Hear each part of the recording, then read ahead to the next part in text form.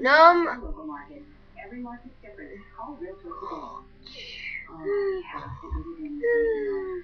Oh, mommy, I don't want to get up.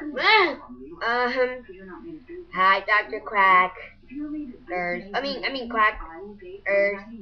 Um, my problem is, I don't know how to fly.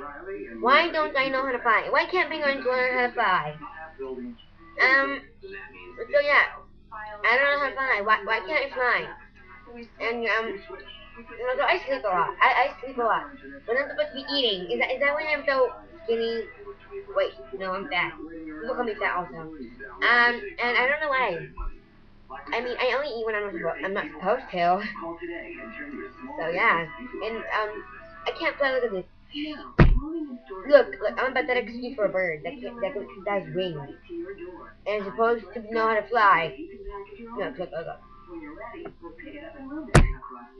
See, you see that? I can't, I can't even fly.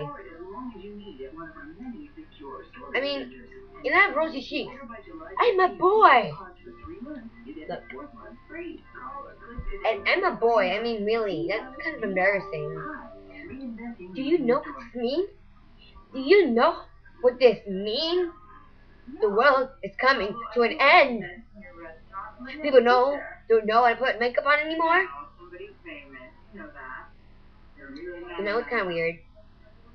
Animals like to, like stuffed animals, like. Oh, and uh, and my other problem is that I like don't stop talking ever unless I'm asleep. And I mean, it's so stressing. I need to learn. Oh, hi, Sarah. I don't know you. Well, that was a mean girl. Anyway, remember, I mean, people don't know how to dress anymore. Nobody knows how to dress anymore. Okay, that's all, Dr. Crack. I mean, Quackers. Quackers, will you stop staring at me? Hey.